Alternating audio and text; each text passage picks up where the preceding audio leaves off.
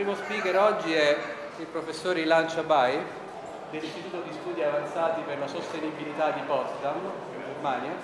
E Ilan non avrebbe bisogno di presentazioni perché è un personaggio molto molto noto, molto molto famoso, è stato direttore dell'Exploratorium di San Francisco, ha avuto una company per vent'anni in cui produceva installazioni scientifiche per musei che sono diffuse in tutto il mondo e recentemente si sta occupando di sostenibilità, in particolare con un progetto molto grande eh, sull'Artico.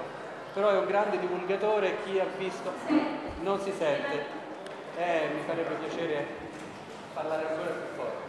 Comunque lascio la parola a Dylan che forse ha una voce louder than me. Ok. Ok.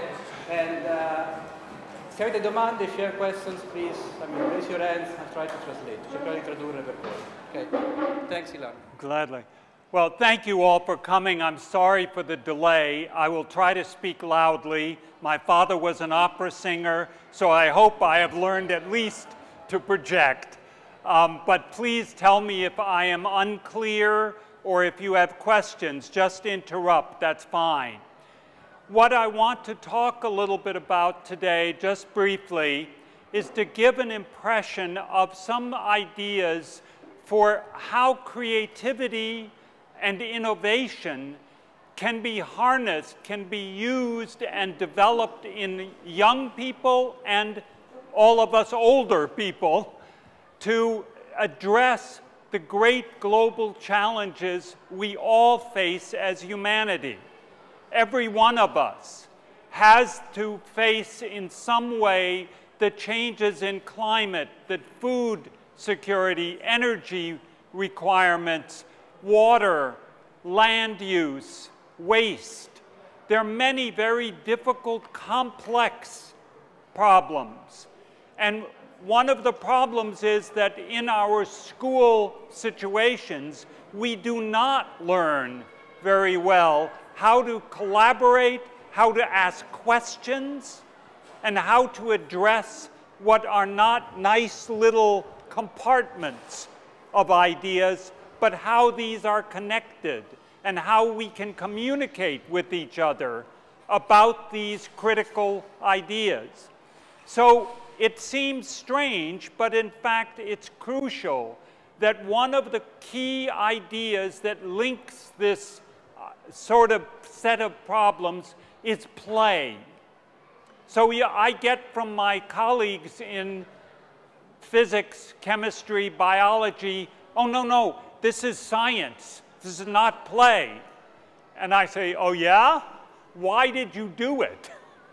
And many reasons often are because the ideas are beautiful, because I like to think about these things, because I saw a wonderful exhibition in the museum. Many reasons. But play is also a place where you can take risk. And for those of us who are afraid of risk, it's a safe way to make some attempts. And then there are others of us, and I'm afraid I'm in that, who look for interesting risk. But people are very different. So I want to only illustrate this very, very briefly because we're already late, so I will make it short. But to give some examples, I spent a number of years doing basic research and then uh, as professor at Stanford in fundamental science. And out of that, when I became director of, the associate director of the Exploratorium with Frank Oppenheimer, um, I began thinking about how to help people think about what is science, not about information. That's fine. You learn that anyway.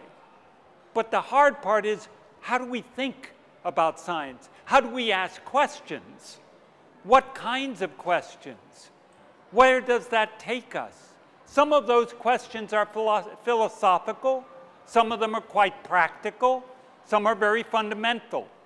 So I designed maybe two, three hundred experiences for 200 museums around the world, but also ended up with a few toys.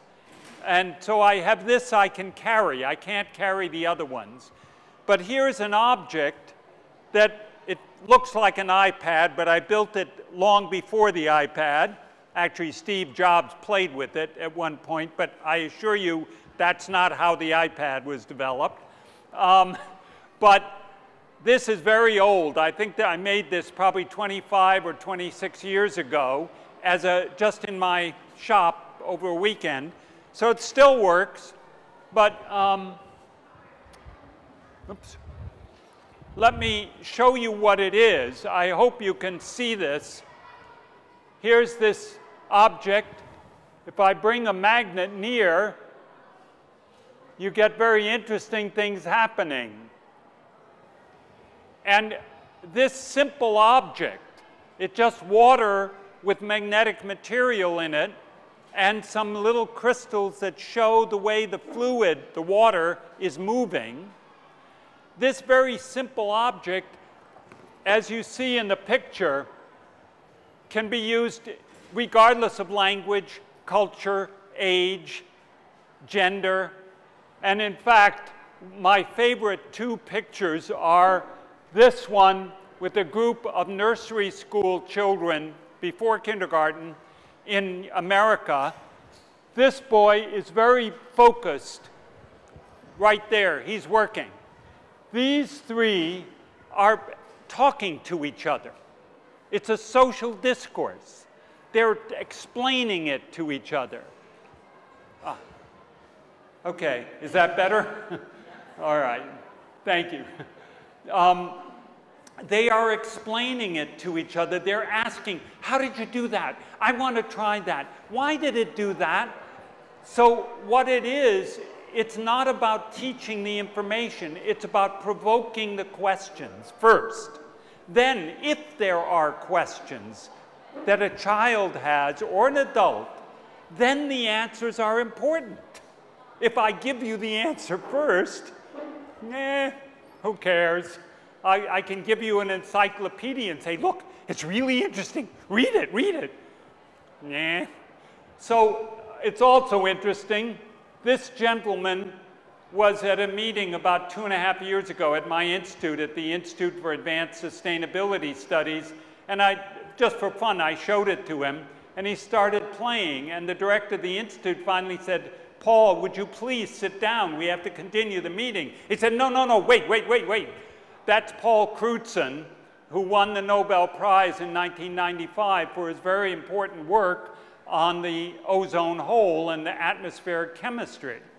And so I love the idea that here's somebody with a Nobel Prize and very sophisticated understanding of science who was doing basically the same experiments that the children were. And the point is not the knowledge behind it, it's the questions. It's finding ways to nurture the curiosity that we all have, not just children.